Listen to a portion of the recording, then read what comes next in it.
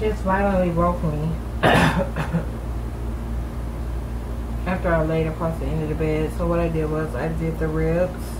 And they're in the refrigerator right now. But I uh, also, I also made me some eggs.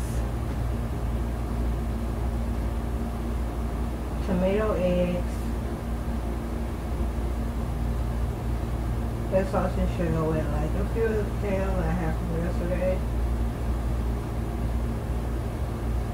So I had just eaten that and finished my drink.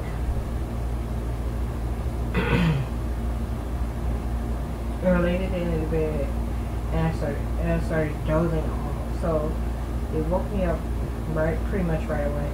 But they woke me because the thing across the street, the female type, arrived and they were um claiming I was it.